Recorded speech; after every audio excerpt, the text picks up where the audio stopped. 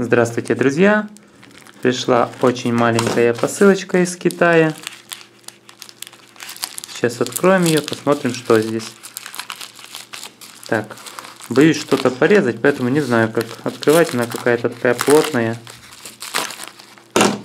Так, открываем. Есть какой-то буклетик.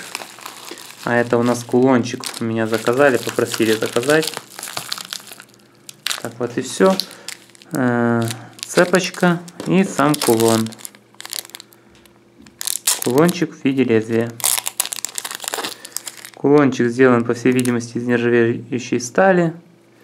Аккуратно, простенько вот такой, но оставляет отпечатки пальцев. Ну, никто не просит его лапать пальцами.